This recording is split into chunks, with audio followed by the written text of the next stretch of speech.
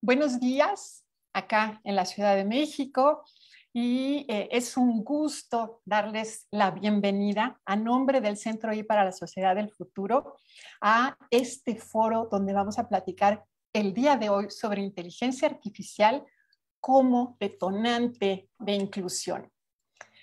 La inteligencia artificial es parte de nuestra vida está influyendo en nuestras decisiones, en las percepciones que tenemos, en qué compramos, qué opinamos, qué elegimos. Y por eso es tan importante asegurarnos que beneficie nuestra vida y que sirva a todas las personas. Nuestra misión como Centro I es impulsar tecnología que sea ética, incluyente y responsable. Y por eso, desde que la UNESCO, con el liderazgo de Gabriela Ramos, lideró la recomendación para la ética en la inteligencia artificial, hemos sido entusiastas de este esfuerzo y, nos hemos sumado en todas las posibilidades. Y por eso estamos el día de hoy en conjunto eh, eh, impulsando esta conversación. Es eh, este foro que organizamos eh, entre Centro I y UNESCO, la Oficina de México. Eh, es un placer entonces darle la bienvenida y la voz a Gabriela Ramos para que también eh, nos abra este foro a nombre de la UNESCO. muchas gracias, querida Elena. Gracias al Centro I, nuestro, nuestro socio privilegiado en México, por, pues, por como tú dices, la, UNESCO y el sector eh, de ciencias sociales y humanas eh, tiene este mandato desde pues eh, muchas décadas de aplicar una mirada ética a las tecnologías emergentes y evidentemente uno de los grandes logros que tuvimos en noviembre pasado fue la aprobación de la recomendación de la ética en la inteligencia artificial. Ética entendida evidentemente como una práctica para asegurarnos que los desarrollos tecnológicos eh, resulten en sociedades más inclusivas, como lo dice el título de esta conferencia, resulten en sociedades eh, en donde no se reproduzcan las desigualdades que conocemos en la vida real y, además que evidentemente todo el mundo se pueda beneficiar. Entonces, ah, me da mucho gusto nuevamente estar con ustedes, que nos hospeden, eh, Centro I, pero además pues tener a nuestros amigos eh, de, Telefónica con el que firmamos un, memorándum también, porque esta es una recomendación que va para eh, sector público, privado y para todos los actores. Y como tú dices, Elena, has estado en todos los procesos, pero también nuestros compañeros del panel eh, han sido consultados, han dado su opinión, nos han apoyado mucho porque es un instrumento ambicioso, que no podría haberlo sido si no hubiéramos tenido tantas consultas con gente como ustedes que decían, bueno, pues aquí que verdaderamente se vea el impacto, ¿no? Y entonces, eh, eh, qué, bueno nuevamente estar con ustedes y, y procedamos entonces a la discusión de la sustancia. Bienvenidos a todos. Muchas gracias, Gaby. Pues procedemos y eh, voy a iniciar por presentar a este panel fabuloso que tenemos para el día de hoy, comenzando eh, contigo también para, para no olvidar eres la subdirectora general de Ciencias Sociales y Humanas de la UNESCO, donde supervisas las contribuciones de la institución para construir sociedades inclusivas y pacíficas. Eh, la agenda de Gaby incluye lograr la inclusión social y la igualdad de género, avanzar en el desarrollo de la juventud, promover valores a través del deporte, la agenda antirracismo y antidiscriminación, así como la ética de la inteligencia artificial. Antes de ocupar este puesto, se desempeñó como jefa de gabinete y Sherpa ante el G20, G7 y APEC en la OCDE contribuyendo a la agenda global y liderando los nuevos enfoques de desafíos económicos, iniciativa de crecimiento inclusivo, estrategia de género de la OCDE y la labor sobre el bienestar y la infancia. Su trabajo para promover la igualdad de género le valió el premio Forbes a la excelencia en 2017 y 2018, además de ser incluida como parte de las 100 personas más influyentes, según Apolitical, en materia de política de género tanto en 2018 como en 2019. También está con nosotros Olga Cavalli, subsecretaria de Tecnologías de Información en la Secretaría de Innovación Tecnológica de Argentina. Olga es especialista en tecnologías de la información y la comunicación, Internet, con amplia experiencia en gestión de proyectos, estudios de mercado, análisis de la competencia, políticas y normativa pública. Es ingeniera en electrónica y electricidad. Además, cuenta con un doctorado en dirección de empresas y un máster en regulación de telecomunicaciones. Olga es fundadora y directora académica de la Escuela del Sur de Gobernanza de Internet, programa pionero que otorga becas a estudiantes de América Latina y el Caribe para recibir una capacitación intensiva. Ha sido miembro del Grupo Asesor del Secretario General de las Naciones Unidas para el Foro de Gobernanza de Internet y representante argentina en el Comité Asesor Gubernamental de la ICANN. Desde abril de este año se desempeña como subsecretaria de Tecnologías de la Información en la Secretaría de Innovación Tecnológica del Sector Público de Argentina. Bienvenida, Olga. Gracias. Está también con nosotros Richard Benjamins, director de la Estrategia de Datos e Inteligencia Artificial de Telefónica. Richard Benjamins ha sido el fundador del área de Big Data para el bienestar social en Telefónica. Cuenta con un doctorado en ciencias cognitivas e inteligencia artificial por la Universidad de Ámsterdam y es considerado como uno de los 100 profesionales más influyentes en los negocios basados en datos. Se ha desempeñado en el sector académico e instituciones de investigación en Madrid, Ámsterdam, Sao Paulo, París y Barcelona, además de colaborar con distintas startups y empresas multinacionales. Es cofundador y vicepresidente del Observatorio del Impacto Social y Ético de la Inteligencia Artificial, Odisea, y miembro del grupo de expertos de la Comisión Europea sobre la compartición de datos entre empresas y gobiernos para el interés público. Encantados de tenerte con nosotros, Richard.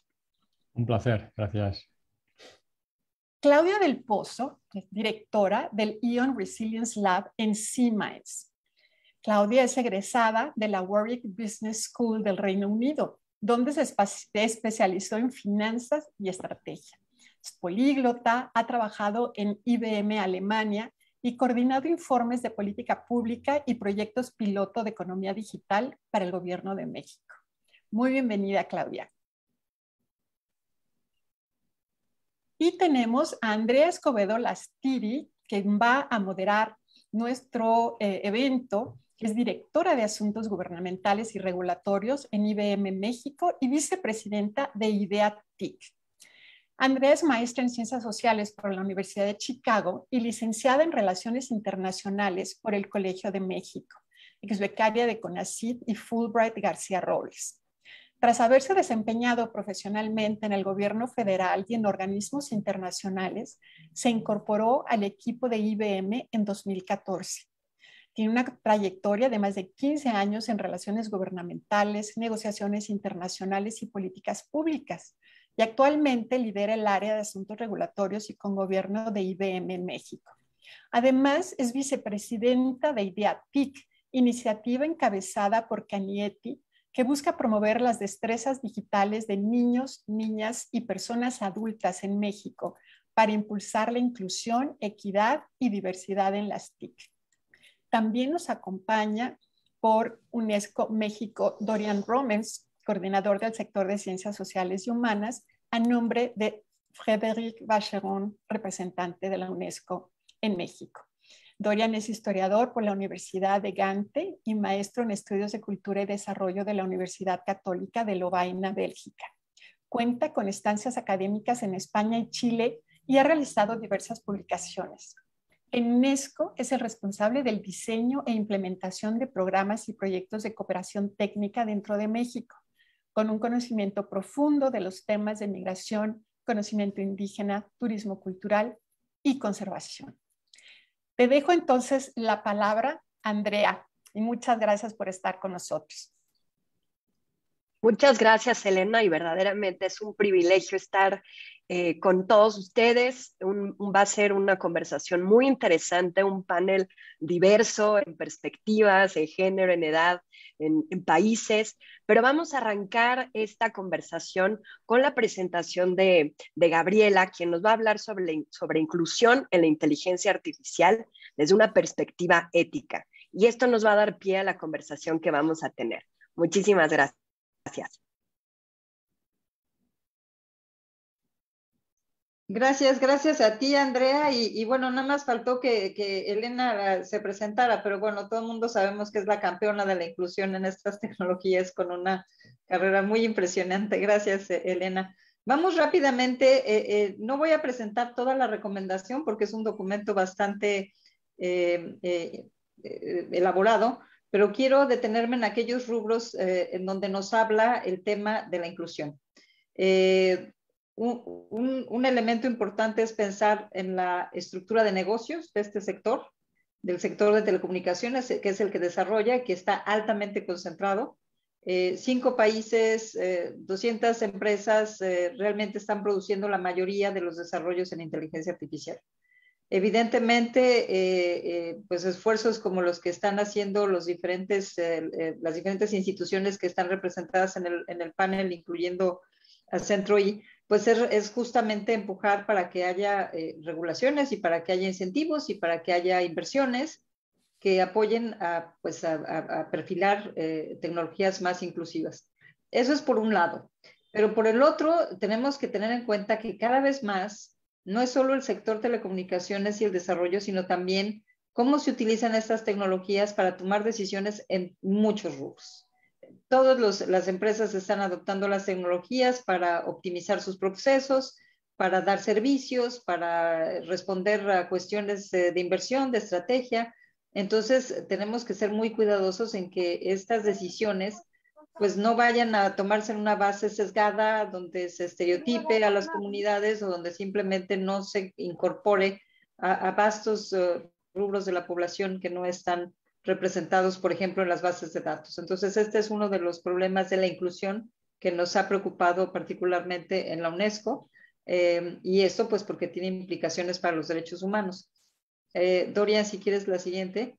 Eh, se aprueba el, el, consenso global sobre la ética en el sentido de que pueda haber más participantes en el desarrollo de las tecnologías, muy importante, no solo el tener acceso, no solo el estar conectados, sino estar participando en el desarrollo de las tecnologías eh, en, muchos países que ni siquiera están conectados a Internet, eh, pero eh, tenemos la aprobación de este instrumento en noviembre con 193 países, en donde se habla de la necesidad de desarrollar regulaciones efectivas para garantizar que las tecnologías tengan resultados incluyentes y sustentables, controlar los riesgos, garantizar que haya más inclusión, más diversidad eh, y, sobre todo hay toda una serie de, aplicaciones, de herramientas que estamos construyendo para apoyar en la implementación. E incluso las capacidades de los estados. Eh, algunos de los derechos, evidentemente todos los derechos humanos, todo el marco de derechos, pero el derecho a la igualdad, el derecho a la privacidad, la protección contra la vigilancia extrema, la libertad de expresión y libertad de opinión, el derecho a la educación, derecho al trabajo, derecho de mantener nuestra, nuestra, nuestro libre albedrío, que muchas veces se, se, se obscurece con, con eh, demasiadas eh, eh, interacciones en, en, el ciberespacio que nos dan resultados negativos. los valores que propone la recomendación tienen que ver con estos derechos, pero también con el medio ambiente y con nuestras obligaciones como humanos frente al planeta eh, la diversidad y la inclusión y sobre todo utilizar estas tecnologías para construcción de, sociedades eh, pacíficas.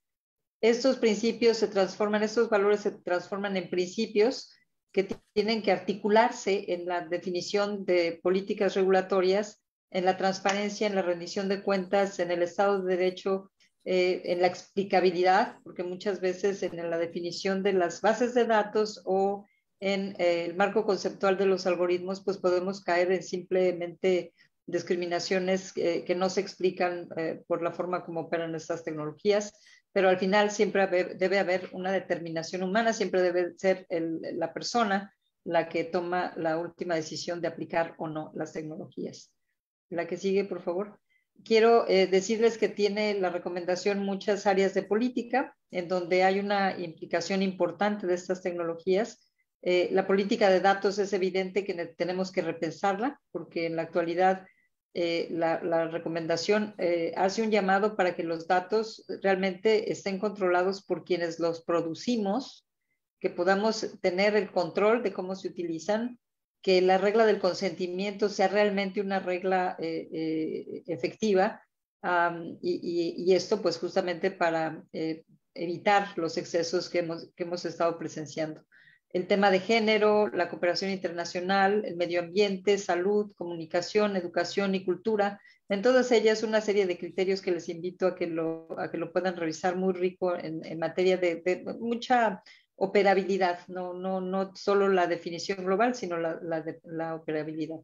Y en temas de inclusión social, que es lo que nos eh, llama el día de hoy, eh, hay un reconocimiento de que, de que se tiene que garantizar la diversidad e inclusión no solo en términos de que las bases de datos sean bases de datos de calidad en donde se encuentren representados pues la cultura, la diversidad cultural que tenemos en el mundo, sino también en el desarrollo de las tecnologías, en los equipos que desarrollan las tecnologías, en quienes los aplican. Eh, son tecnologías que requieren altas capacidades y al final del día pues siempre se va a discriminar a aquellos que están en eh, los ingresos bajos y que tienen poca posibilidad de beneficiarse.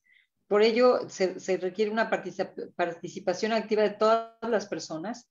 Hay, una necesidad de co-crear, de involucrar a la sociedad civil.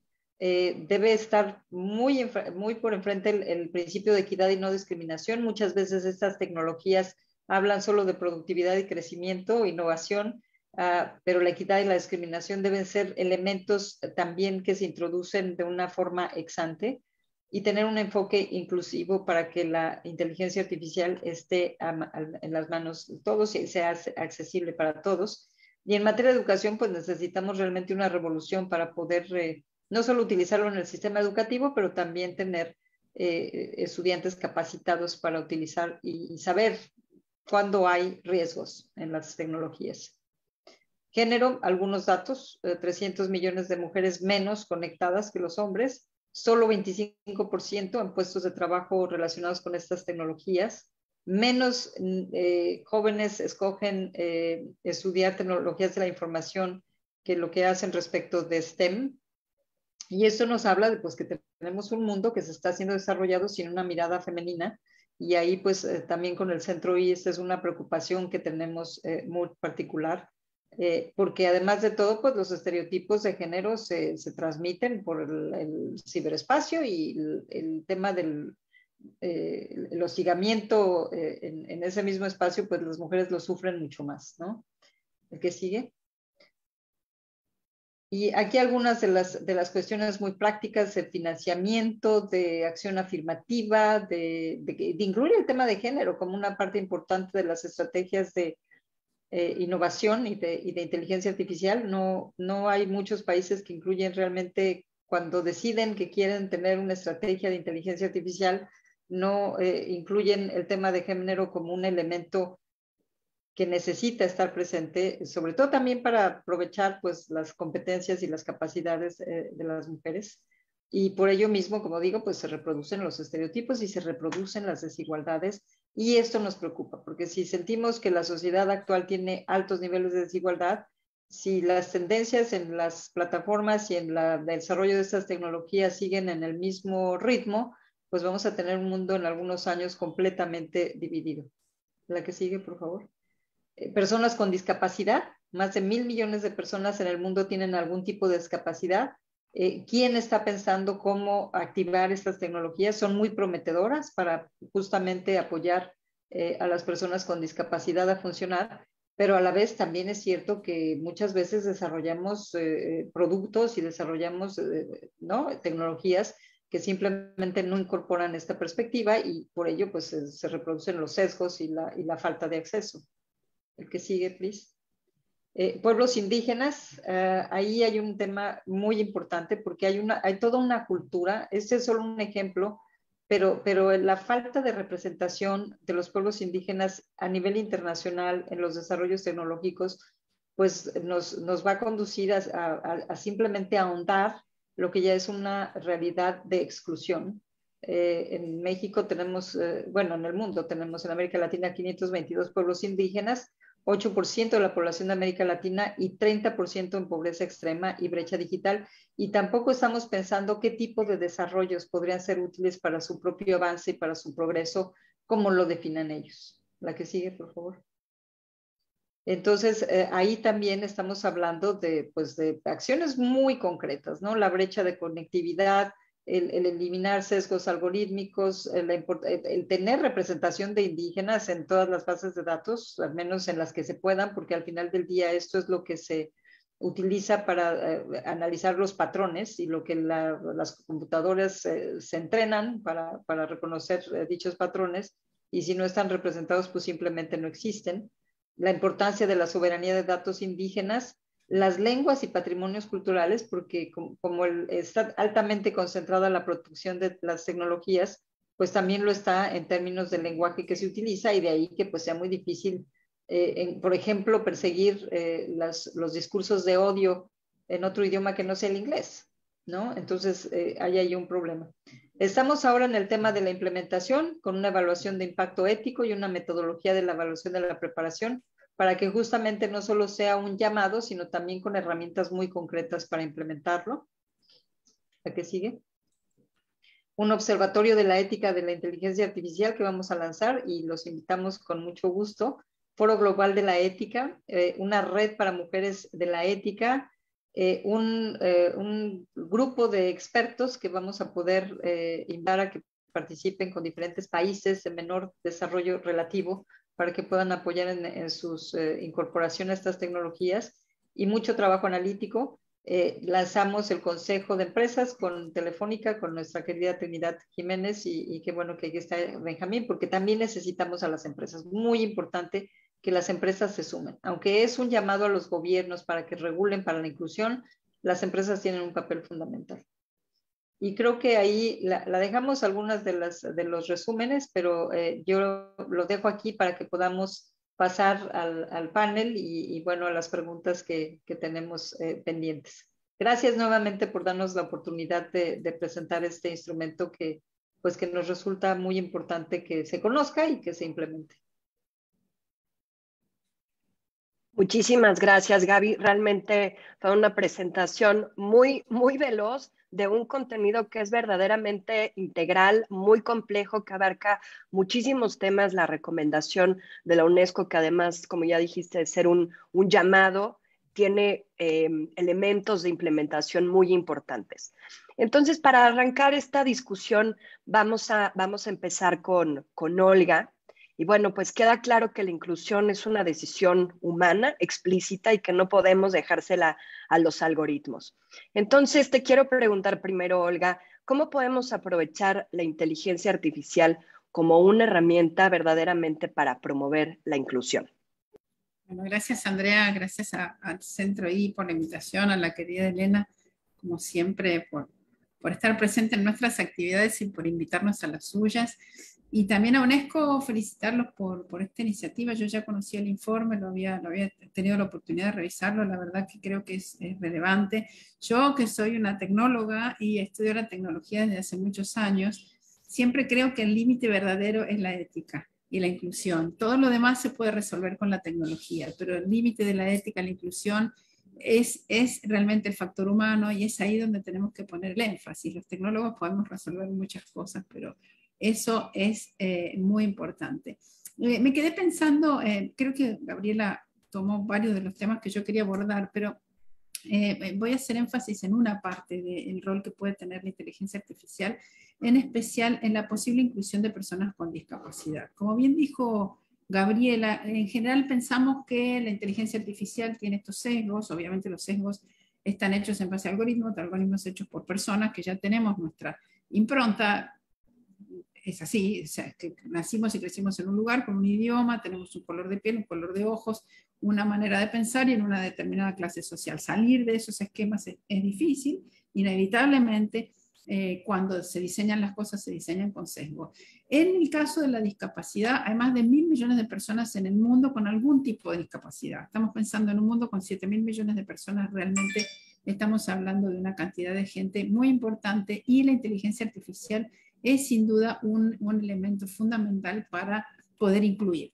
primero, eh, estas personas tienen una gran dificultad para encontrar trabajo, pero inteligencia artificial ofrece ahora una serie de herramientas tecnológicas que les permiten una inclusión mucho más efectiva. Para las empresas que contratan gente con discapacidad, esto es un valor súper importante para su posicionamiento en el mercado, para su posicionamiento en relación a, la responsabilidad empresaria y también para ser una empresa mucho más inclusiva y mucho más responsable en relación a la, a la, gente en general. Pero bueno, eh, también están las empresas, lo dijo bien Gabriela recién, el rol fundamental de las empresas que diseñan estas tecnologías, ella dijo algo súper importante que creo que es algo que para los países en desarrollo, como es el caso de Argentina, México y los colegas que nos están escuchando, todas estas tecnologías se desarrollan por muy pocas empresas en muy pocos países. En general, el resto de nosotros somos consumidores de estas tecnologías y eh, las empresas deben recordar que deben tener esta inclusión por diseño, inclusion by design, ética por diseño. Creo que la, la Unión Europea tiene algunas reglamentaciones recientemente hechas en relación a, la contratación de gente, a evitar los sesgos para, para contratación y para selección de personal. Eh, algunos elementos de tecnología súper importantes hoy, por ejemplo, es el uso de texto predictivo, que nos beneficia también a los que por suerte hemos nacido sin, bueno, todos tenemos alguna discapacidad, pero a los que no tenemos una quizá tan manifiesta, transcripción de voz a texto, para personas que no pueden escribir, pero sí pueden hablar, el reconocimiento visual y de voz. Acá en Argentina hay un proyecto muy, muy interesante, que es una biblioteca para ciegos. Ellos tienen eh, más de 60.000 libros digitalizados y convertidos en audiolibros, no solamente en español, sino en muchos otros idiomas. Entonces, ellos están incorporando poco a poco herramientas de inteligencia artificial. Eh, para gente con discapacidad visual esto es un antes y un después de todo. Es más, he conocido gente que ellos han entrenado, eh, gente que quedó ciega por algún problema de salud y ha podido seguir desarrollando su trabajo, ya que ellos les ayudan a usar eh, en las computadoras. Ahora, para esto es súper importante que los programas estén diseñados con herramientas de accesibilidad. Esto lo deben tener en cuenta los programadores y los diseñadores de páginas web, porque si no, si no está hecha con accesibilidad por diseño, difícilmente estas personas puedan acceder. Em, finalmente quería mencionar algunas iniciativas que vi en América Latina que me parecieron muy interesantes. El Sistema Nacional de Empleo en Brasil hizo un proyecto que utiliza inteligencia artificial para perfilar a las personas desempleadas registradas en el Sistema Nacional de Empleo con el objetivo de ofrecerles ofertas de trabajo. Una cosa importante que dijo Gabriela es que para poder incluir hay que tener información en base a quienes son posibles incluidos. Si no tenemos información de la discapacidad o de las personas que están afuera del sistema, difícilmente podremos incluirlas en algún tipo de algoritmo que se desarrolle. En Chile encontró una iniciativa que se llama Sistema Alerta Niñez, que genera un índice de riesgo de niñas y niños adolescentes de sufrir alguna vulneración a sus derechos en el futuro y en Colombia encontré una selección de casos de tutela judicial de derechos fundamentales que forman parte de la competencia de la Corte. Todo esto funciona, bueno, con COVID vimos una serie de aplicaciones también que, eh, herramientas de inteligencia artificial ayudaron a la pandemia, que realmente creo que la tecnología ha demostrado que, que ayuda y la ciencia y la tecnología ayudó a que la pandemia durara poco y no nos afectara tanto como lo que se predecía. Eh, todas estas, eh, estas herramientas son importantes, eh, pero como dije, si no están diseñadas con inclusión por diseño, difícilmente se pueda. Tener mucha información también en bases de datos sobre los que no están incluidos nos va a permitir poder diseñar estas herramientas de inteligencia artificial de modo adecuado, siempre teniendo en cuenta que nuestros países no son quizás los que los que toman las decisiones en la, en la, en la decisión del desarrollo de las herramientas. Me quedo acá y después vemos si hacemos más comentarios. Gracias por la invitación. Muchas gracias, Olga, y excelente que pongas sobre la mesa esto de la inclusión por diseño. Bueno, queda claro que efectivamente el desarrollo tecnológico es un asunto público y que a todas las personas nos, nos concierne, pero que sí hay responsabilidades específicas eh, que pueden tomar los estados y las empresas. Y pasando al tema de las empresas, ahora vamos con una pregunta para, para Richard. Que, que, bueno, con la inteligencia artificial tenemos la oportunidad de usar la inteligencia colectiva, histórica, pero tenemos la responsabilidad de corregir estos sesgos heredados. Entonces, ¿cuáles son las prácticas corporativas para evitar o mitigar sesgos no deseados que de vez en cuando resultan de la aplicación de la inteligencia artificial?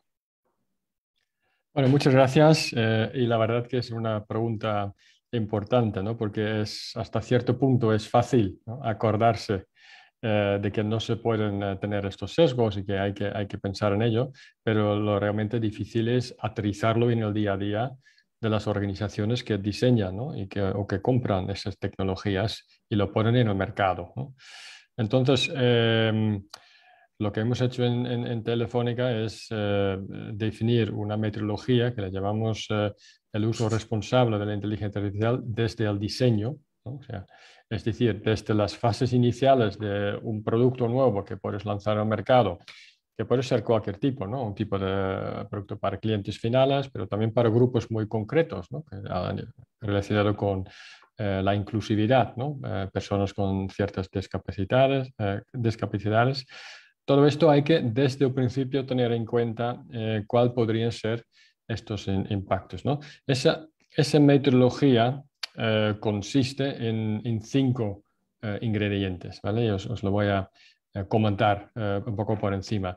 Primero son, obviamente, las normas y valores que tienen en cada organización, que los principios de, ética, de inteligencia artificial ética o un código ético, que pueden ser temas que ya hemos visto ¿no? con Gabriela, eh, temas de inclusividad, no discriminación, transparencia, explicabilidad, bueno, son unos cuantos, ¿no? entre 6 y 10, eh, que son realmente importantes. Ese es el primer paso, ¿no? que marca un poco, cuáles son las pautas que queremos seguir ¿no? y qué efectos negativos queremos evitar. ¿no? Pero obviamente no es suficiente, ¿no? luego hay que utilizarlo en el día a día. ¿no?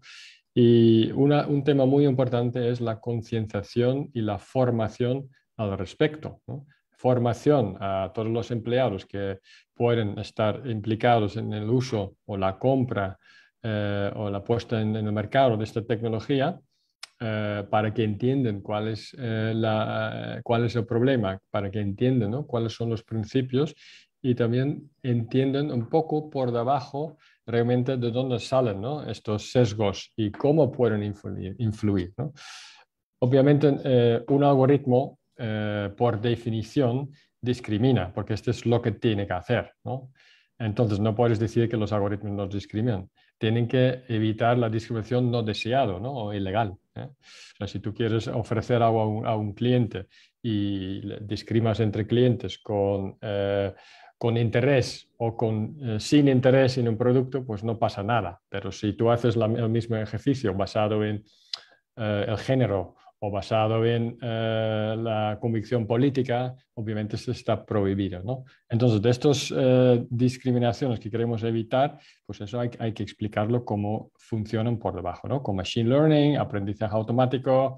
Eh, tenemos ejemplos ¿no? de que, por ejemplo, una cámara que hace una foto de, una foto de personas y en cada cara ponen un cuadrito porque reconoce la cara, pero hay una persona de color pues donde no pone un cuadrito. ¿no? Obviamente, el error así ha sido desde el diseño no tener una base de datos eh, de imágenes representativo para el público objetivo de, la aplicación. Entonces, el tema de, formación es muy importante. Luego, muy importante también es tener un cuestionario. O sea, antes de llevar un producto al mercado hay que hacerse algunas preguntas. ¿no? Y, estos los, y las preguntas que vemos nosotros son de dos tipos. Uno es estimar el posible daño que puede generar. ¿vale? Posible daño tiene tres dimensiones. Uno es la gravedad. No es lo mismo equivocarse en un diagnóstico médico que equivocarse en recomendación de una película o una canción. Son órdenes de magnitud. Una infecta, afecta mucho a, las personas y otro, no.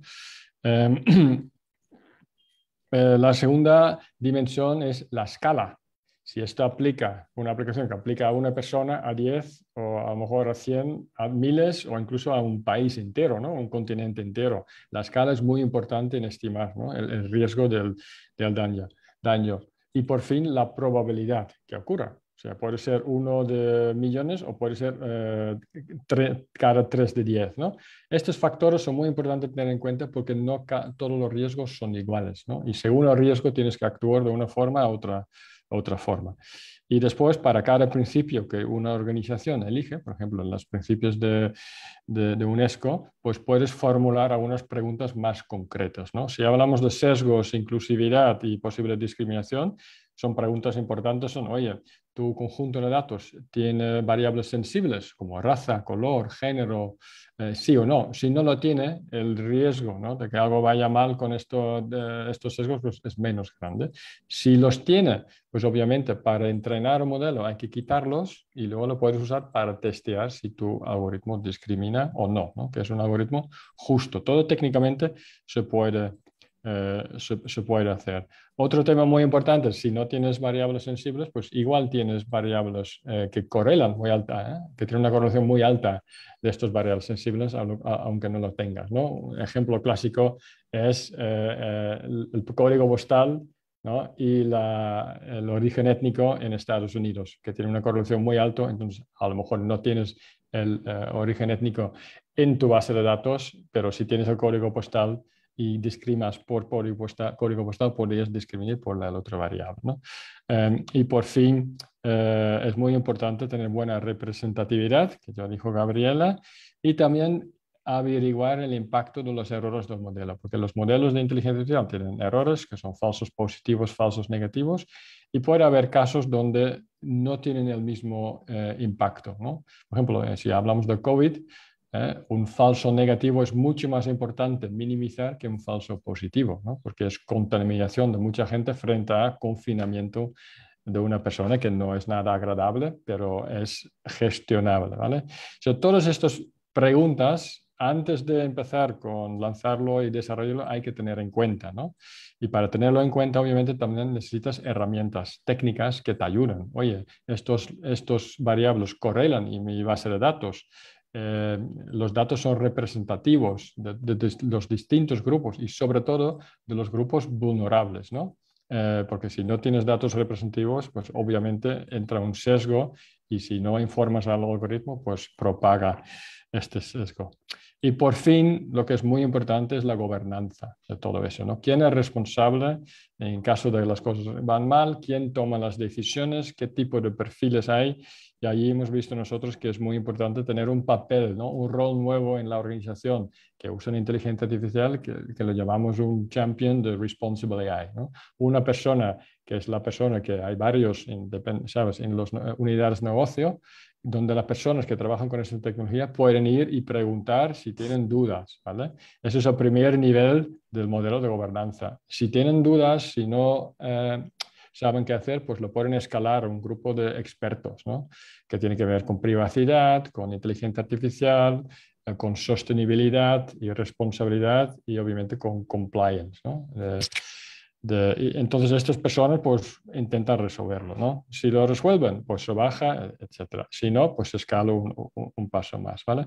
Entonces todo esto son ingredientes que ayudan a las empresas a aterrizar estas eh, difíciles eh, cuestiones en el, en el, día a día, ¿no? Y más allá de Telefónica, eh, como, como, comentaron, que también soy el, el cofundador de una observatoria ¿no? del impacto social y ética de la inteligencia artificial, justamente donde eh, juntamos todas las experiencias de empresas y organizaciones y los eh, hacemos eh, y los digerimos y los preparamos en una manera fácil y muy práctica y concreta para que otras organizaciones ¿no?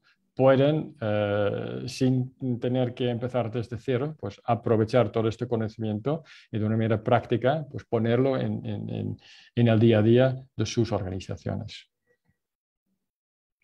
Muchas gracias, Richard. Eh, es muy importante, mencionas, ya empiezas a hablar de todo este ciclo de vida de la inteligencia artificial, los temas de representatividad y los casos específicamente sensibles y, bueno, las diferencias que hay entre fases de exploración y cuando un producto se lleva al mercado, ¿no? Entonces, hablando ahora sobre el, sobre el desarrollo responsable de la tecnología, quiero pasar con, con Claudia. Y, bueno, queda claro que la inteligencia artificial es una tecnología tan potente que sus resultados inciden en dinámicas sociales y económicas, por lo que la eficiencia no puede ser el único indicador de su éxito. Entonces, Claudia, ¿cómo podemos incorporar la ética? Ya adelantó Richard varias cosas de las que hacen las empresas, pero ¿cómo incorporamos una perspectiva ética como un enfoque prioritario en el desarrollo de esta tecnología y en su ciclo de vida? Muchas gracias, Andrea. Siempre que hacen esta pregunta, me gusta tomar un paso atrás y decir por qué es importante, porque muchas empresas tal vez lo vean como algo adicional, ¿no? Ellos hacen inteligencia artificial, eh, la ética es algo adicional, que bueno, si no hay regulación, tal vez no se entienda la importancia. Eh, y aquí me gustaría solo tomar un momento para enfocarme en eso. Como bien mencionaron mis colegas en este panel, eh, por ejemplo, un tema importante son los, qué tal que los datos están sesgados de una manera que, que excluye a ciertos grupos poblacionales. Eso puede terminar para una empresa en, en no sé, por ejemplo, un, salir en las noticias diciendo esta organización, esta empresa está discriminando a estas personas, que ya ha pasado con muchas, pero yo me pregunto si es una empresa más pequeña, una startup, que en la región principalmente son startups eh, que están adoptando inteligencia artificial, em, bueno, además de las big tech, pero la, la mayoría son startups. ¿Qué pasa cuando tu startup se encuentra en las noticias por discriminación? Ahí pierdes la confianza del usuario, pierdes la confianza de la población y ahí se te va la empresa.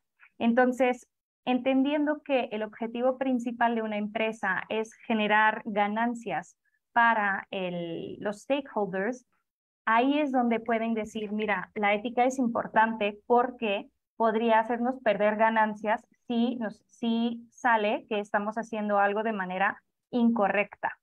Em, y obviamente esas empresas no, no hay que pensar en ellas como empresas malas, que no les importa, más bien el reto en América Latina que hemos visto es que no hay conciencia sobre por qué estamos hablando de ética de la IA, conciencia sobre los riesgos que pueden surgir eh, en un uso no responsable de la inteligencia artificial. Entonces, como primer punto, quisiera decir, olvidemos, o sea, más bien, no deberíamos hablar de inteligencia artificial ética o responsable, eso debería ser inteligencia artificial, porque de esa manera construyes un buen sistema.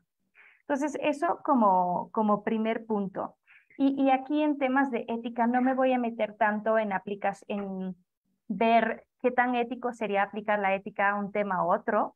Quiero hablar más bien este, de, de cualquier sistema, eh, cómo hacerlo ético. Entonces, ya que vimos por qué, eh, como mencionaron también mis colegas, es importante incorporar una perspectiva ética en todo el ciclo de vida del sistema. Em, y tal vez aquí las personas escuchando nos digan, ok, pero ¿cómo lo hago? ¿No? Y esa es la pregunta real que, que, tenían, que tienen las empresas, los gobiernos tal vez que estén utilizando sistemas de IA. Y ahí existen muchas vías. Está en la guía de la OCDE, la UNESCO, como bien mencionamos, eh, está la guía de la Unión Europea, está una guía de ética que realizó Colombia también, eh, ya hablando más de aterrizado América Latina. Em, y esas guías, bueno, dan un sentido de por dónde sí ir, por dónde no, pero tal vez falta como algo más concreto. En cuanto a concreto, o sea, en vez de hablar del qué hacer, hablemos del cómo hacerlo, que, necesitan mucho estos, estas empresas o estos proyectos desde gobierno. Eh, existe, poco a poco se están desarrollando guías, como guías muy concretas. Eh, ahorita yo lo que diría es, si quieren ver cómo hacerlo, métanse a ver las regulaciones existentes, que está por pasarse la Acta de Inteligencia Artificial en la Unión Europea, está el AI Accountability Act en Nueva York, que ya es, ya es ley, em, y ahí podrán ver un poco qué se propone y qué, qué, qué, hay que ver. Pero de forma resumida, yo quiero resumir algunos principios em, que, realmente todos estos documentos que mencioné tocan de una manera u otra, tal vez los organicen de diferentes maneras, pero ahí vienen, como seguridad y robustez, equidad, inclusión y no discriminación, que ha sido un enfoque principal en este panel, transparencia y explicabilidad, que ahí obviamente no se trata de abrir el algoritmo, se trata de muchas otras cosas, privacidad, un tema clave, y responsabilidad y rendición de cuentas. Eh, les quiero platicar un poco más de, nuestra experiencia desde el Ion Resilience Lab de C-Minds. Nos ha tocado trabajar muy cerca con varias startups eh, en temas de particularmente transparencia y explicabilidad. ¿Cómo puedes hacer que tu sistema sea más responsable en estos sentidos? Y lo que vimos es que las empresas que tenían más variedad en su equipo, variedad en términos de, de género, pero también de estudios, eh, les fue mucho mejor en entender la importancia y cómo pasar de, mm, digamos, una recomendación a una implementación técnica. Ahí, por ejemplo, pienso en una empresa que tenía una psicóloga y, estuvo perfecto ella como intermedio entre nosotros y los técnicos en entender cómo y por qué. Por otro lado, también las empresas que les fue muy bien en, en este ejercicio fue las que tenían un equipo técnico muy sólido, con un entendimiento profundo de cómo estaba funcionando su sistema. Entonces hablamos de transparencia y explicabilidad y muchas veces pensamos en, ah, claro, se trata de explicar a los otros, sí, a los usuarios, sí, pero también se trata de utilizar modelos que el equipo técnico pueda entender y pueda entonces ajustar si se ve que está arrojando em, recomendaciones sesgadas. Y por fin yo les quisiera recomendar dos cosas. Si hoy quieren decir, bueno, ¿a qué me meto? Este, o cómo le hago. Me gusta mucho em, lo que ya platicaba Richard, el risk-based approach, un enfoque basado en riesgo, que es el enfoque principal de la propuesta de regulación de IA en la Unión Europea. Eh, no es perfecta y si quieren en, en, la parte de preguntas pueden preguntarme en qué casos no aplica, eh, porque bueno, digamos que es un, primer ejercicio de cómo regular la IA y tenemos que iterar sobre ese. Pero yo creo que es un muy buen ejercicio, ¿no? Si estamos, si nuestro algoritmo recomienda películas en Netflix, pues tampoco me puedo preocupar tanto. Ahí, ahí también este, lo dejaré en la parte de preguntas y respuestas si quieren saber más pero si es un sistema de recomendaciones médicas, tengo que preocuparme mucho más para que esté perfecto. Em, y ahí existen varias herramientas en las que se pueden apoyar, como el Impact Assessment del BID, este, herramientas de la UNESCO, también el Information Commissioner Office del Reino Unido, la Oficina del Comisionario de la Información, tiene tres documentos con preguntas que se deberían estar haciendo en diferentes eh, categorías. Entonces, eso es muy bueno para detonar la conversación. Y por fin, aterrizándolo a América Latina, eh, dentro de un par de meses, desde C-Minds, eh, desde el Lead on Resilience Lab de C-Minds, junto con Meta, vamos a estar publicando un booklet, una guía de exactamente por dónde deberías meterte, este, qué deberías checar e, etapa por etapa para tener un uso de sistema de inteligencia artificial más responsable Em, y ojalá les lo, puedan conocer en su momento, otra vez enfocado a los, a los retos que, que tenemos aquí. Y ahí dejo mi participación por ahora. Muchas gracias. Gracias, Claudia, y gracias por hablar sobre dos temas clave, además de los principios, que son la confianza y la diversidad, y todos estos esfuerzos por aterrizar y hacer palpable y llevar a la, a la realidad estos principios. Ahora vamos con, con Elena, y bueno, creo que toda esta conversación ha girado en torno a que no queremos una tecnología nada más que funcione, sino que refleje los mejores valores y aspiraciones de la humanidad. ¿Cómo nos puede ayudar la inteligencia artificial a construir realidades más incluyentes, equitativas y sostenibles? Gracias, Andrea.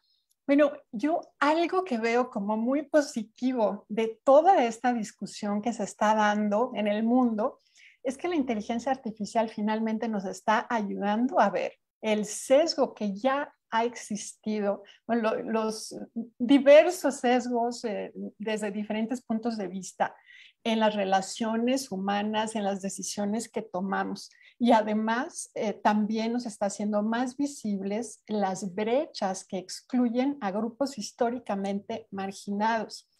Y creo que ese punto nos puede ayudar a eh, que esta, esta problemática que se nos presente nos ayude a generar cambios profundos. ¿Y por qué? Porque la respuesta evidentemente no es dejar de usar la inteligencia artificial, eh, sino concientizar eh, en el sentido de que tenemos que hacer inteligencia artificial que no reproduzca los sesgos, que no los magnifique, porque también ese es otro efecto eh, de la inteligencia artificial por la forma en la que está diseñada y, cómo funciona, que puede amplificar los sesgos, no, no nada más traducirlos de, de una dimensión a la otra.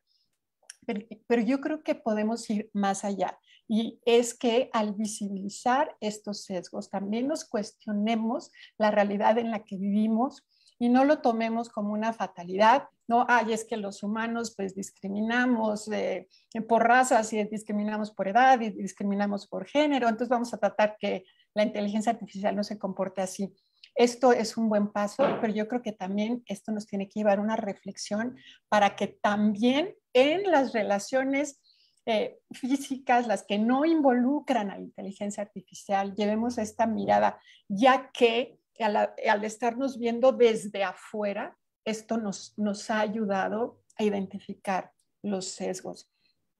Y para eso es que, eh, que la mirada que podemos tener creo que tiene que ir no solo hacia adelante, ¿no? ¿Qué hacemos con esta inteligencia artificial? ¿Cómo hacemos para que funcione bien hacia el futuro? Sino también una mirada hacia atrás. ¿De dónde viene?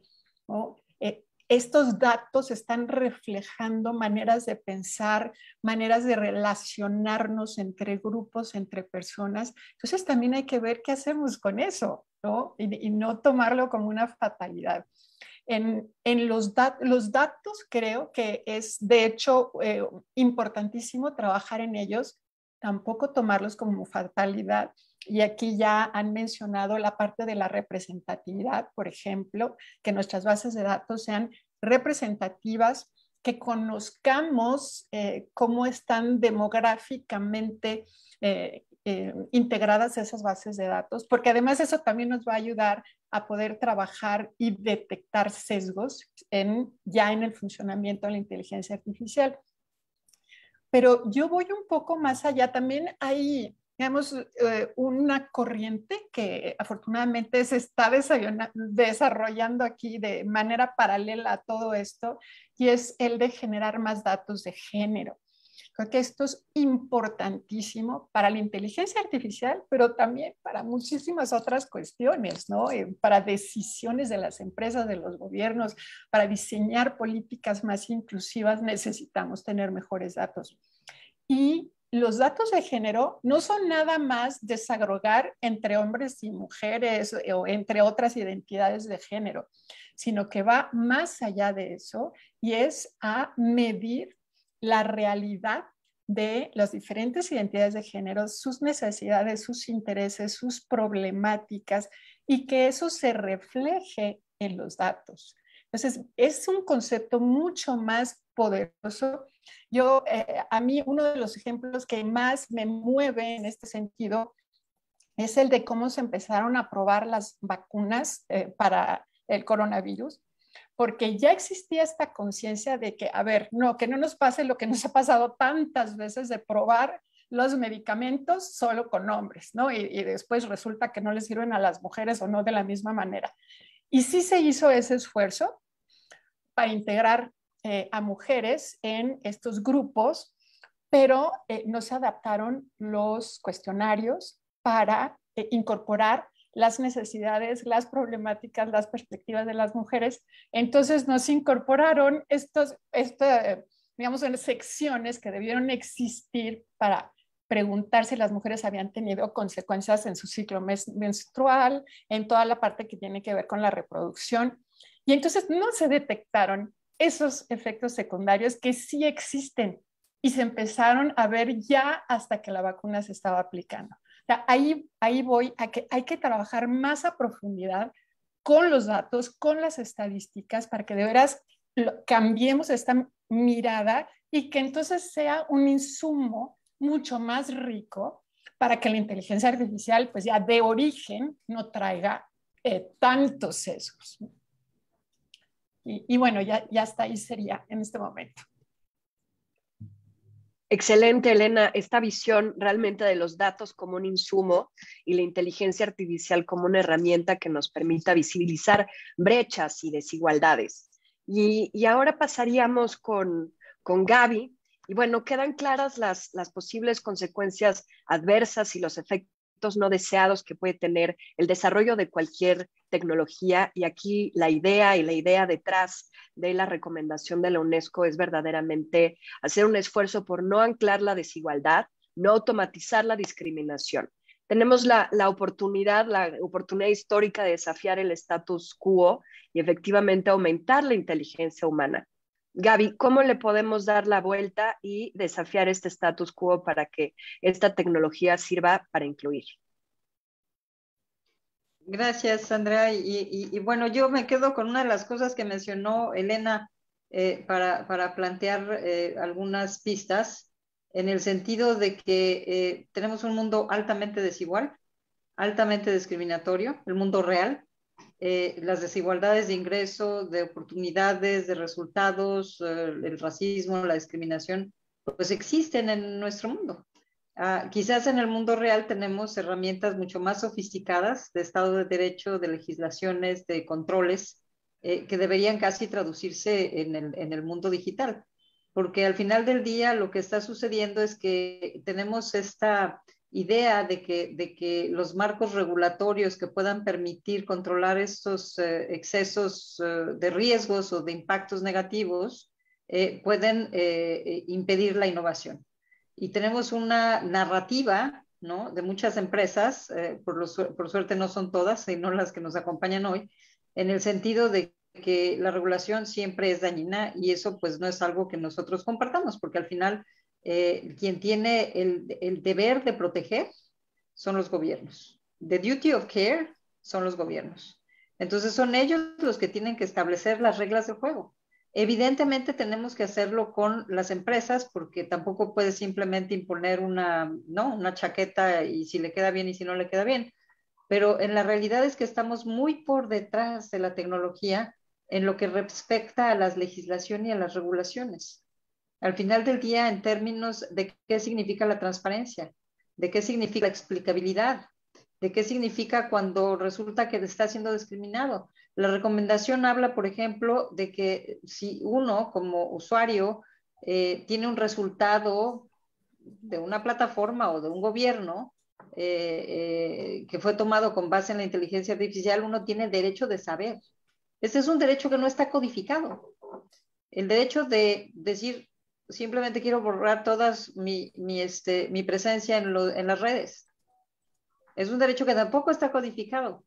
Entonces, al final del día, yo creo que todavía tenemos que ver de qué manera podemos desarrollar las herramientas legales para poder asegurar que está el Estado de Derecho en las plataformas sin exagerar, sin, sin, es, un trabajo muy fino, porque al final del día tienes que experimentar mucho no hay respuestas eh, eh, únicas al tema de la regulación, pero sí hay experimentos interesantes eh, y además se puede incluso basar en otras industrias. una de las industrias más sobrereguladas es la farmacéutica y no por ello decimos no hay innovación, no es cierto. O sea, lo único es que cuando uno va a sacar una medicina al mercado, hay una cantidad de regulaciones y controles que hay que tener, porque simplemente el riesgo es altísimo. No compartiría con algunas de nuestras colegas de que hay riesgos muy bajos, porque si te encuentra un buscador que siempre te está proponiendo Netflix, pues yo digo, ¿y por qué?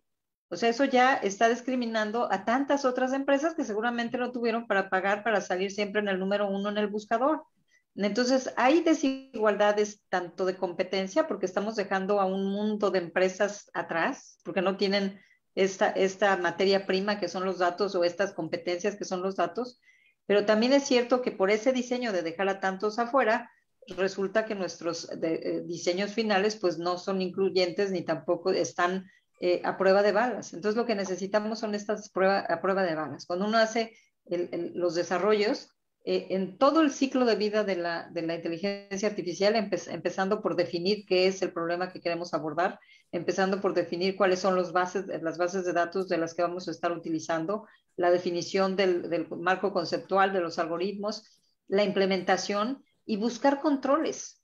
Porque, por ejemplo, si tienes equipos que están desarrollando los algoritmos, que están desarrollando los, los, este, pues las diferentes tecnologías y son los mismos que las implementan y que las evalúan y que checan los impactos, bueno, pues, pues, no, o sea, eso simplemente no se da. Y no se da en la vida real, porque en la vida real los evaluadores son independientes en todos los procesos productivos. Entonces, hay una serie de criterios ahí que yo creo que, que tenemos que poner justamente para lograr que exista este Estado de Derecho. Que no resulte que tenemos acceso a recetas para este, suicidios de jóvenes y no hay nadie que sea responsable, ¿no? Y no hay nadie que pueda compensar los daños. Entonces yo creo que ahí hay un papel fundamental de los gobiernos por tener regulaciones e instituciones de calidad, por capacitarse, que no es sencillo, porque incluso eh, eh, en el Senado americano aprobaron eh, hace algunos meses una, una, este, un, dictamen para capacitar a, las, a, los funcionarios públicos que están lidiando con la, con la, con la inteligencia artificial pero todos estos controles para saber cuáles son los riesgos y, tener de verdad la, capacidad de controlarlos. Y esta es una función de, los estados. En la recomendación tenemos eh, pues el mandato de, apoyar con los marcos regulatorios, de, pues, experimentar, de intercambiar, de ver quién, cómo se hacen, el cómo. Tenemos el mandato de construir instituciones, como se construyeron las instituciones de bioética hace 30 años. La UNESCO estuvo ahí en el en el tema de, tener este tipo de instituciones y finalmente pues tener la cuestión de, de la compensación. Y al final uno puede decir, ¿sabes qué? La caja negra, la forma como eh, las propias eh, eh, computadores aprenden y reproducen, no, al final el ser humano igual no entiende por qué dan ciertos resultados. Nosotros decimos, siempre debe ser la decisión última de la persona, del desarrollador, eh, si se aplica o no se aplica. No es porque la, computadora o la, inteligencia desarrolló ciertos criterios y salió con algunos resultados que uno simplemente los va a aplicar porque eso simplemente te lleva a desastres como los que hemos tenido incluso en países eh, muy avanzados. Pero ya existe un marco. Yo creo que tener 193 países que están con la misma narrativa, con la misma preocupación, no es risk-based, no es basado en riesgos, sí es proporcional, no puede uno aplicar los mismos eh, criterios a tecnologías de bajo eh, este impacto, a tecnologías que están realmente eh, afectando muchas poblaciones, pero, pero al final del día sí requerimos un marco regulatorio mucho más sofisticado que incentive que haya mejores aplicaciones y control de daños. Son muchos temas los que están sobre la mesa. Creo que algo que queda claro es que estas herramientas tienen que buscar aumentar la agencia de las personas, quienes son las que tienen que tomar al final del día las decisiones, que hay un mandato muy claro de, la, academia, de los estados, de la sociedad civil, de las empresas, y que a todos nos conciernen las consecuencias. Antes de pasar eh, al mensaje de cierre, quisiera abrir una sección eh, de preguntas y respuestas. Nos hemos hecho muchas preguntas difíciles aquí. A las máquinas les toca dar respuestas rápidas, pero a nosotros como humanos nos tocan las preguntas difíciles. Si hubiera alguna pregunta, por favor, pónganla, pónganla en el chat. Y bueno, quisiera también, si tienen alguna reacción los panelistas sobre los comentarios, creo que se ha ido hilando un, un diálogo bien interesante que con, todos los temas que están puestos sobre la mesa, lo que nos estamos preguntando al final es un tema de qué queremos como humanidad, ¿no? Más allá de, las herramientas que diseñamos para que nos ayuden a trabajar. Entonces, estoy monitoreando el chat, pero quisiera si alguno de nuestras, nuestros panelistas tienen comentarios. Claudia. Sí, perfecto. Este, muchas gracias. Concuerdo con todos. La idea es avanzar hacia un futuro más justo, ¿no? Donde no exista discriminación. Este, no sé qué, tan idealista sea erradicarlo, pero por lo menos yo creo que podemos hacer un, un trabajo mucho mejor del que actualmente tenemos. Entonces, pues me encantó las diferentes participaciones. Y pues de mi lado, nada más recalcar que yo estaba compartiendo las herramientas que ya existen, si ya quieren meterse a ver qué pueden hacer. Y reiterar que, como dije, no es suficiente el risk-based approach. También siempre lo digo con estrellita de que ya conozco algunos casos que no, el risk-based approach no, no puede, no puede como controlar todo, ¿no? Eh, entonces, sí, sigamos trabajando juntos y qué bueno tener estos espacios de diálogo para explorar qué más se necesita Y aquí, hablando desde América Latina, ¿qué más podemos crear desde aquí eh, para contribuir al diálogo global que tenga sentido para países en desarrollo? Muchas gracias. Gracias, Claudia. Y ahora pasamos con Olga y después con Elena. Gracias, Andrea. Gracias a, todos los colegas eh, por, por tan, tan interesantes comentarios. Yo voy a hacer una reflexión similar a la que hago por temas de género sobre el cual trabajo hace muchos años. Hay un montón de guías y buenas prácticas. En esto estamos de acuerdo. Las podemos recolectar, las podemos leer. Lo que reflexionaría es qué podemos hacer para pasar de, la, de lo declarativo a la acción. Eh, a veces con temas de género pasa que, bueno, tenemos una serie de datos y buenas intenciones, pero a la hora de concretas acciones para reducir brechas de género y tecnología, que por lo menos es el tema que, al que me he dedicado muchos años, eh, a veces como que no se concreta. Em, entonces pensar, no tengo la respuesta, es simplemente pensar, y este es un espacio interesante para dejarlo planteado, cómo podemos evaluar acciones concretas para poder, estas buenas acciones y, buenos eh, principios que, se han descrito de la hora de concretas. Me, me escucho a mí misma.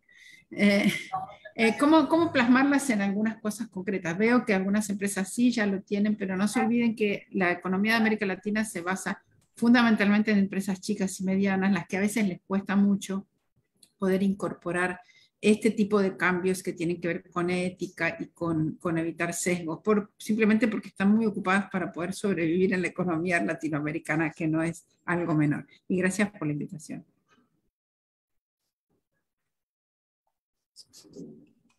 Gracias, Olga. Ahora vamos con Elena y luego con, con Richard. Ya tenemos un par de preguntas en ello. Gracias, Andrea.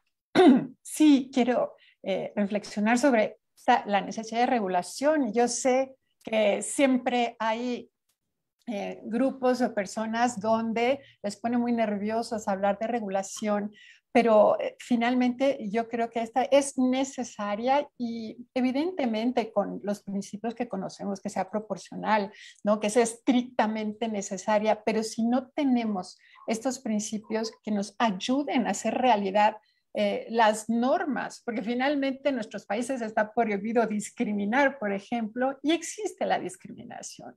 Y muchos sistemas de inteligencia artificial están discriminando.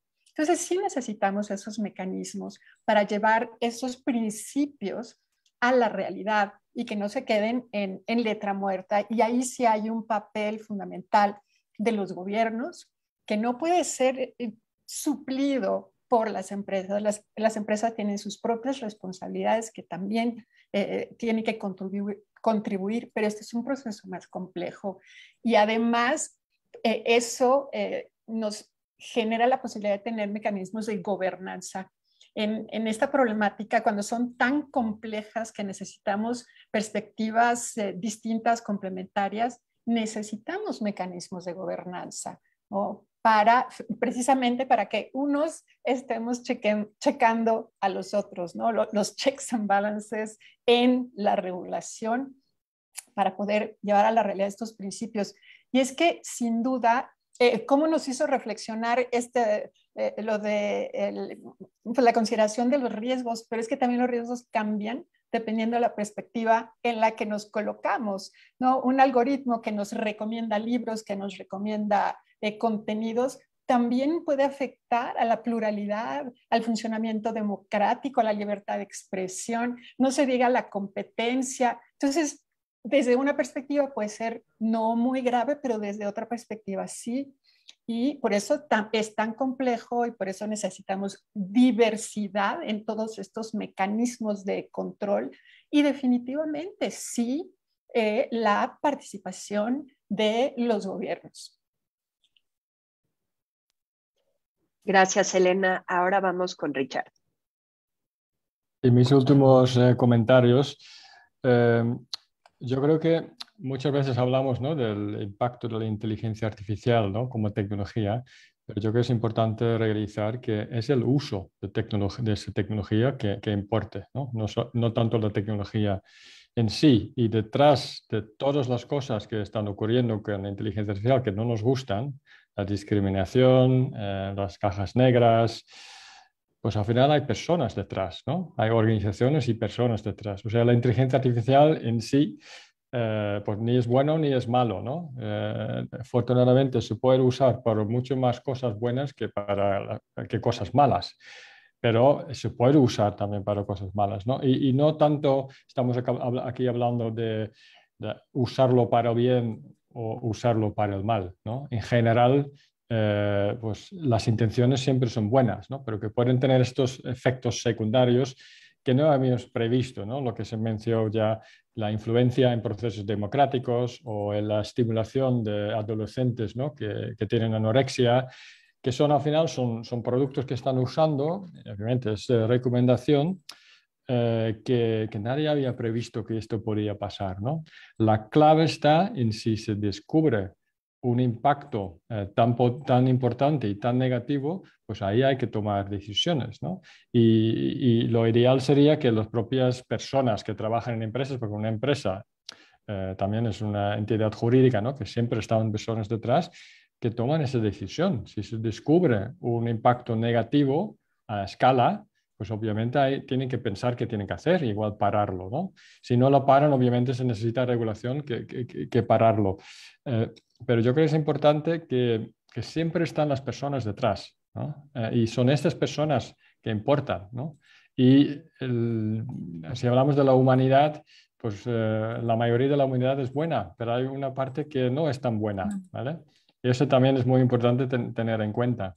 Y aunque lo regulas todo, eso va a seguir eh, ocurriendo, porque estas personas eh, pues, no, se, no se mantienen ¿no? a la ley.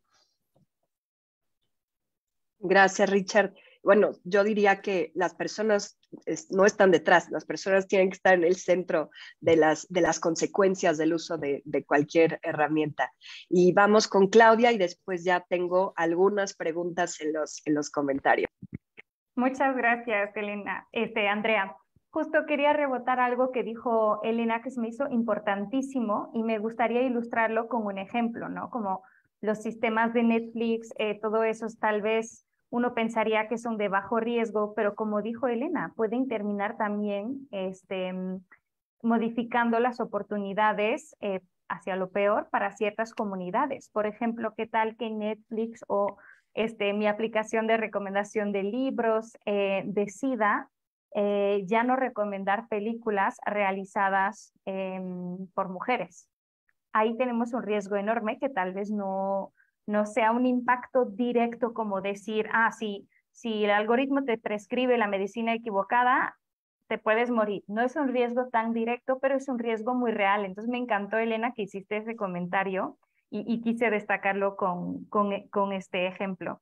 Y, también, Richard, este último comentario también me encantó, este, los riesgos que nadie había previsto, completamente de acuerdo. Em, solo podemos imaginarlos, lo que hemos visto, hemos vivido, hemos escuchado, de la importancia de tener un, grupo, pues un grupo diverso em, y hasta, ¿por qué no?, contratar em, autores de ciencia ficción para ayudarnos a imaginar hasta dónde ir, hasta dónde podría ir la tecnología visto de mi lado. A favor, a favor, Claudia, de, contactar a escritores de ciencia ficción y las consecuencias analógicas que tienen las interacciones en el, en el mundo digital son, son bien reales y las consecuencias y la interacción digital es bien real, ¿no? Y eso tenemos que tomarlo en cuenta.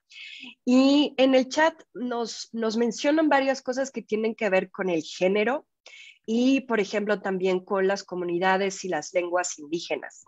Entonces, creo que estos son, son temas bien importantes. Eh, nos preguntan cuáles serían los valores universales a tutelar en sociedades enteramente machistas. Creo que todas las preguntas que nos hacen tienen que ver con este tema de, de la diversidad y la confianza.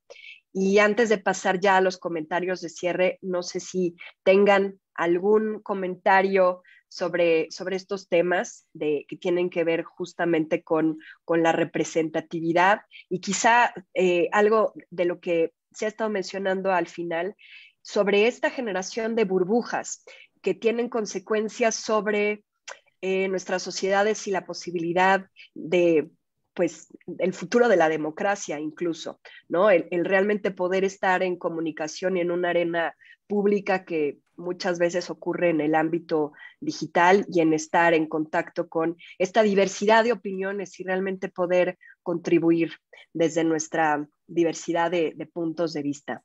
Entonces, les, les, paso otra mini ronda de, comentarios para pasar ya a los comentarios de cierre. Andrea, yo, yo me tengo que, ir, pero, pero quizás ah, simplemente decir ah, que siempre hay, la inclusión requiere un esfuerzo consciente.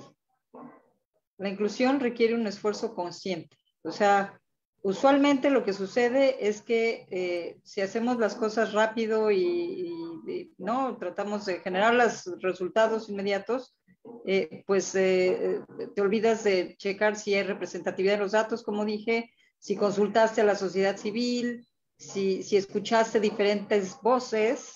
Y yo creo que el tema del eh, pensamiento grupal no es un tema que simplemente afecte a las plataformas o a las tecnologías nos afectó en la crisis financiera, tener eh, todo el mundo repitiendo que el modelo económico funcionaba y que se había eliminado el riesgo y pues no hubo una voz diversa que dijera, o las voces diversas simplemente las callaron. Entonces, ah, e, en, este tema que nos preguntan en el, en el chat sobre las eh, lenguas indígenas, pues ese es el último test, ¿no? El último test es que podamos tener representatividad si no es de, datos generados por las comunidades indígenas, porque tampoco es tan sencillo, pues si simplemente si va a haber algo que afecte a las comunidades indígenas, independientemente si la decisión se tomó con base en tecnologías de la información o no, hay que consultar con ellas y hay que hacer un proceso incluyente, democrático, para poder saber cuáles son sus puntos de vista. Entonces, regreso a lo que decía Elena, esto es un proceso que tiene que ver con evitar que lo que tenemos en el mundo actual se reproduzca en las tecnologías, pero no es que estemos siendo muy igualitarios, ¿no? Nada más falta ver eh, la representatividad de las mujeres en el G7, ¿no? Eh, digo, los, este, presidentes eh, fueron electos, ¿qué le vamos a hacer? Pero este, los que se sientan atrás también eran todos hombres, entonces estamos hablando del G7. Entonces hay que tener este, este esfuerzo por la inclusión. Me encantó estar con ustedes eh, y, bueno, les deseo un feliz fin de debate. Muchas gracias. Muchas gracias, Gaby. Realmente fue un diálogo muy, muy arduo y podríamos pasar aquí toda la mañana, pero llega el momento de tener los comentarios de, cierre y van a estar a cargo de, de Elena y de Dorian. Muchas gracias, Andrea. Eh, excelente moderación. Qué ganas de quedarnos aquí horas y horas con estos temas, ¿no? Surgen tantos comentarios por hacer, pero bueno, eh, yo agradezco mucho a todos los invitados panelistas que lo he repetido de lujo. Qué, qué gran conversación y sí espero que la podamos seguir. Eh, entre, se han dicho tantas cosas tan interesantes, eh, sin duda que dejaré muchas fuera, pero eh, sí me quedo con la importancia de la inclusión por diseño, no, no esperarnos a ver qué pasa con los sistemas de inteligencia artificial, sino que tienen que incorporar, ¿no? Y también, este, pues esta idea, Andrea, de que la inteligencia artificial debe eh, contemplar ya conceptualmente la ética, ¿no? Y no permitirnos pensar que se vale tener una inteligencia artificial que no sea ética porque pues o, no eh, eh, deliberadamente ética porque no va a tener impactos tan importantes, sino que tenemos que concebir la inteligencia artificial de esta manera. Digo, claro que a lo mejor hay algunos sistemas en los que hay que poner más esfuerzo porque la problemática que, que se trata de abordar es más difícil, ¿no? Las consecuencias, pues las vemos en muchos aspectos, pero finalmente esto tiene que ser parte de, aquí otro, otro concepto, de la, de la vida, ¿no? Del ciclo de vida de la inteligencia artificial, pensarla con principios éticos, ¿no? Desde su origen hasta sus últimas consecuencias. Y además, y, yo añadiría que el origen, pues tampoco son los algoritmos ni son los datos, el origen es la sociedad en la que vivimos. Entonces, no hay que dejar de ver eso, hay que trabajar en las brechas. ¿Por qué no tenemos bases de datos representativas? Pues porque tenemos grandes brechas, ¿no? De grupos que históricamente han estado excluidos de la tecnología, de las telecomunicaciones, y por eso no captamos su información, porque están fuera. Y, también hay que trabajar con eso. No, no vamos a tener una inteligencia artificial incluyente si desde el origen tenemos a la mitad de la población que no tiene acceso a Internet, ¿no? Y entonces no va a estar incorporado en todo este proceso.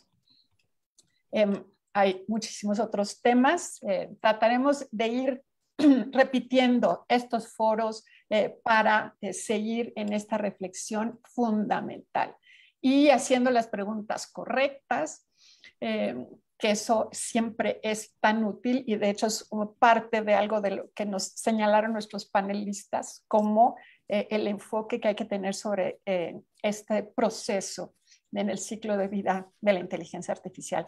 Hagamos las preguntas correctas. En el centro y también lo que eh, tenemos siempre en mente es cuál es la pregunta importante. Y cuando empezamos a contestar una, pues hay que hacernos las que siguen porque Solo así podemos llegar eh, a un impacto y a mejorar las cosas. Les doy las gracias a nombre del Centro I eh, para la Sociedad del Futuro y dejo a Dorian Romens para que cierre el evento a nombre de la UNESCO México. Muchas gracias, Elena. Muchas felicitaciones a, todos y todos por sus insumos y las intervenciones. Yo quisiera también en un momento hablar de lo que acabas de mencionar, Elena, sobre, sobre las brechas, ¿no? Eh, porque es muy importante que, que prevemos que la inteligencia artificial no solo eh, disminuye, digamos, las brechas entre los países, pero también dentro de los países, ¿no? Entonces, eh, pues nosotros como Oficina UNESCO en México, para nosotros es muy, muy importante justamente también ver cómo podemos justamente a través de la inteligencia artificial justamente contrarrestar las desigualdades existentes que tenemos en, en, nuestro país. Me gustaría dar algunos, algunos datos aquí en México que creo que es importante que, que mencionamos, ¿no?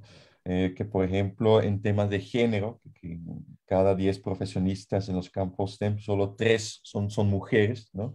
Y si vamos, a, por ejemplo, al campo de inteligencia artificial, en el mundo sabemos que solo 22% de los profesionales del campo de inteligencia artificial son mujeres, pero en México aún más, solo son 15%. ¿no? Entonces, esto, el tema de género, la, verdad es muy importante, lo sabemos en México.